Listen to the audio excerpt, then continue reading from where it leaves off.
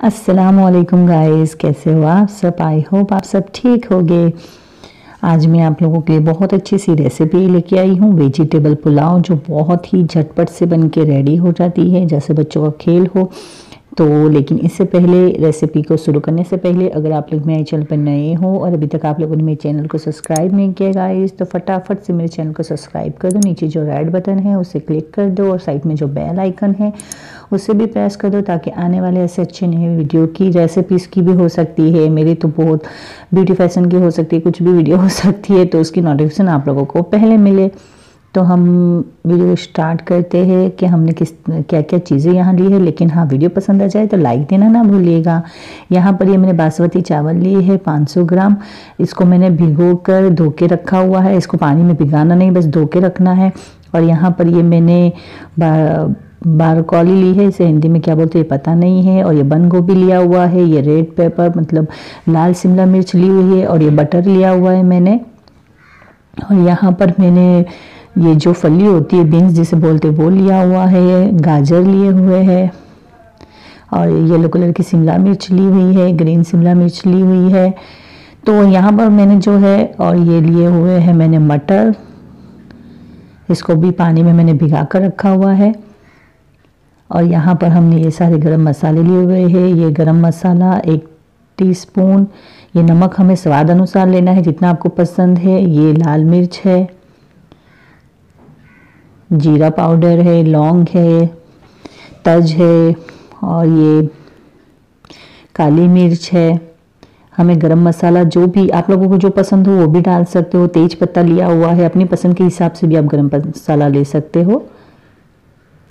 और यहाँ पर मैं आपको एक बात बताना चाहूँगी, ये जो सब्ज़ियाँ हैं, मैंने ज़्यादा ली हुई है क्योंकि मुझे ज़्यादा पसंद है। आप लोग अपने हिसाब से लीजिएगा क्वांटिटी थोड़ा कम भी कर सकते हो। अब हम एक पैन गरम कर लिया है, उसके अंदर हम डालेंगे बटर जब भी आप ये वेजिटेबल पुलाव बनाओ फ्रेंड्स तब आपको ध्यान रखना है कि ऑयल का इस्तेमाल नहीं करना है। आप बटर या देसी घी का इस्तेमाल करोगे तो उतना ज़्यादा टेस्टी आपका ये जो पुलाव है बनेगा।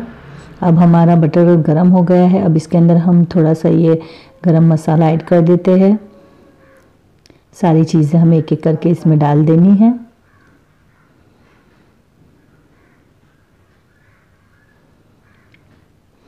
थोड़ा सा हल्का जब हमारा मसाला फ्राई हो जाएगा, उसके बाद हम इसमें डालेंगे ये ऑनियन प्याज कट की हुई।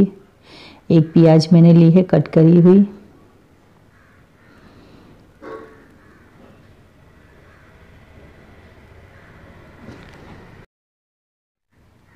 इसके अंदर ये मैं पनीर के टुकड़े भी डालने वाली हूँ। आपको अगर डालना हो तो आप डाल सकते हो या स्किप भी कर सकते हो। यहाँ पर ये मैंने काजू के टुकड़े भी लिए हुए दोनों चीज़ ऑब्वियसनल आप डालना चाहो तो डालो या मत भी डालो, कोई प्रॉब्लम नहीं है। लेकिन इससे थोड़ा टेस्ट ज़्यादा अच्छा लगेगा आपके पुलाव का।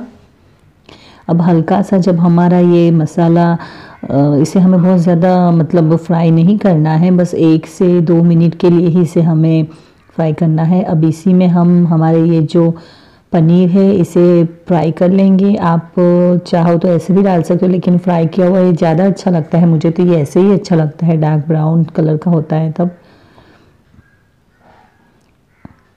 अब हम इसे धीमी आँच पर, इस तरीके से धीमी आँच पर फ्राई कर लेंगे और बाहर निकाल देंगे।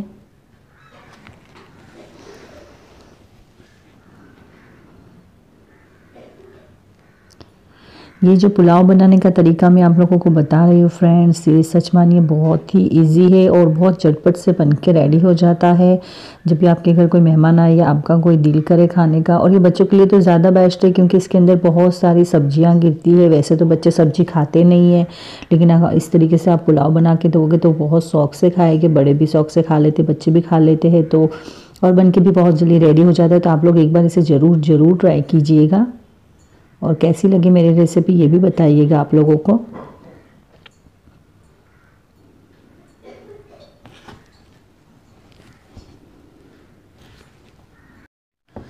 हल्के से ब्राउन हो गए, अब हम इसे बाहर निकाल लेंगे। ध्यान रखना, हमें मसाला बाहर नहीं निकालना है। हमें सिर्फ़ ये, हमने जो पनीर के टुकड़े ऐड किए बस इसे ही निकाल लेने हैं। हल्के से गुलाबी हुए हैं, ज़्यादा ब्राउन नहीं किए हैं मैंने। आप चाहो तो इसे ज़्यादा ब्राउन भी करो तभी ये बहुत ज़्यादा टेस्टी लगते हैं।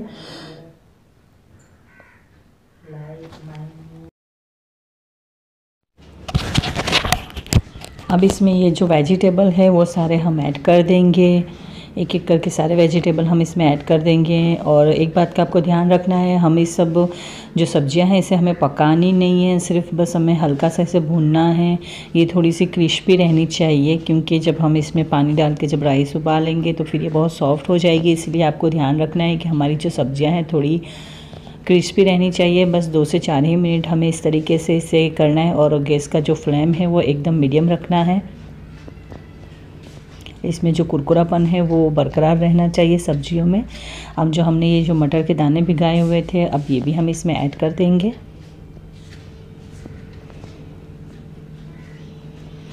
आप देख सकते हो सब्जियों की क्वांटिटी थोड़ी ज़्यादा है क्योंकि मुझे सब्ज़ियाँ ज़्यादा पसंद है, पुलाव में तो आप चाहो तो इसकी क्वांटिटी थोड़ी कम रख सकते हो। और मैंने इसमें गरम मसाला ऐड किया है। कुछ लोग गरम मसाला ऐड नहीं करते, लेकिन एक बार यकीन मानिएगा फ्रेंड एक बार इसे डाल के देखिएगा। बहुत टेस्टी लगते हैं। जब हम ये खाते हैं तो इसका जो स्वाद है बहुत अच्छा हो जाता है। अब हम सारी सब्जियों को अच्छे से मिक्स कर लिया है। अब बारी है राइस ऐड करने की। तो मैंने चावलों को भिगो के नहीं रखा था। चावलों को सिर्फ़ धो के रखा है, आप देख सकते हो। सिर्फ़ धो के रखा है, लेकिन इसे पहले से ही धो, आधा एक घंटे के पहले से धो के इस तरीके से रख देना है आप लोगों को भी। अब हम ये चावल इसमें ऐड कर देंगे और इसके बाद हम इसे एक से दो मिनट तक अच्छे से भुनेंगे। पानी बिल्कुल भी नहीं रहना चाहिए। सब्जियों, अभी जिस टाइम हम इसे भून रहे हैं, उस टाइम हमें इसे अच्छे से भूनना है। इसमें पानी बिल्कुल भी नहीं रहना चाहिए। अब मैं मेरे एक कप को सिगरेट बताती हूँ। अब इसके अंदर हम एक चीज़ ऐड करेंगे, जिसकी वजह से हमारे जो चावल है, वो चिपचिपे से नहीं हो जाते। आप लोगों को पता है, जब हम कोई भी चावल बनाते हैं और पानी डाले बाद जब वो हम उसे बंद करके सीटी लगाते हैं, उसके बाद वो थोड़े चिपचिपे हो जाते हैं। वैसा बिल्कुल नहीं होगा। उसके लिए हम इसमें अब डालेंगे अब हम इसमें बड़े दो ग्लास होते हैं, वो पहले पानी ऐड कर देंगे, फिर मैं आप लोगों को दिखाती हूँ कि इसमें हम क्या ऐड करेंगे, जिसके वजह से चावल हमारे चिपचिपे नहीं होने वाले। ये दो बड़े ग्लास, उसके बाद हाफ़ ग्लास और मैंने ऐड किया है, क्योंकि इसमें सब्ज़ियाँ ज़्यादा है। अब सबको अच्छे से हिला लेंगे। हमें ज़्यादा नहीं हिलाना है।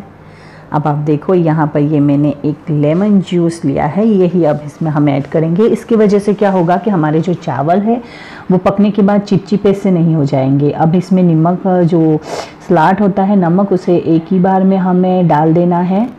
और चावलों को ज़्यादा हलाना नहीं है, क्योंकि जब हम चावलों को हलाते हैं तो चावल डेलिकेट होते हैं मतलब बहुत सॉफ्ट और नाजुक होते हैं तो वो टूट जाते हैं, फिर अच्छे नहीं लगते हैं दिखने में। तो हम इसे ज़्यादा हिलाएँगे नहीं और नमक का भी आप लोगों को ध्यान रखना है। एक ही बार में टेस्ट के हिसाब से आप लोगों को ऐड कर देना है क्योंकि जब पीछे से हम नमक ऐड करते हैं तो उसका इतना टेस्ट नहीं रहता है पुलाव का। तो आप लोगों को ये बात का ध्यान रखना है। अब इसको हम पंद्रह मिनट के लिए ऐसे ही छोड़ देंगे। इसको हिलाएँगे बिल्कुल नहीं। लो फ्लेम पर मीडियम फ्लेम पर हम इसे पंद्रह मिनट के लिए छोड़ देंगे।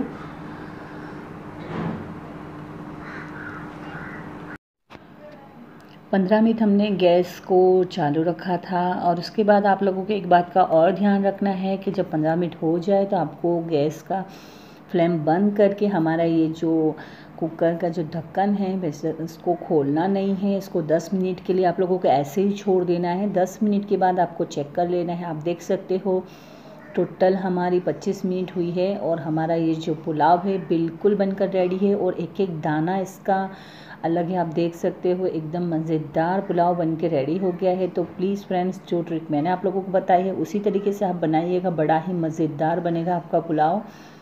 और मेरा ये वीडियो आप लोगों को पसंद आया हो फ्रेंड्स तो प्लीज़ इसे लाइक करना ना भूलिएगा और एक बार ये रेसिपी ज़रूर ट्राई कीजिएगा, बड़ा मज़ा आएगा और मुझे कमेंट करके बताइएगा मेरी रेसिपी आपको कैसी लगी, अगर अच्छी लगी है तो अपने फ्रेंड्स के साथ रिलेटिव्स के साथ मेरे वीडियो को शेयर ज़रूर कीजिएगा। हम फिर मिलते हैं नेक्स्ट वीडियो में। तब तक के लिए अल्लाह हाफिज़ bye take care close till I get up Time is barely on our side